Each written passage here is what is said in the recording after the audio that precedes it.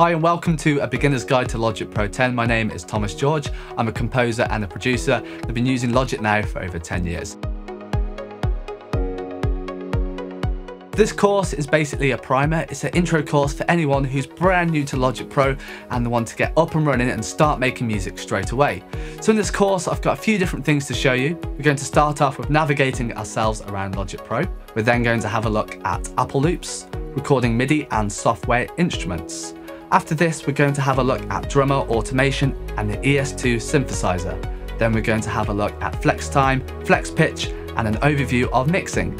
After all this, in the bonus section, we'll also give you a discount code for my complete Logic Pro 10 course if you want to take your learning even further with me. So make sure you enroll and I'll see you in the course.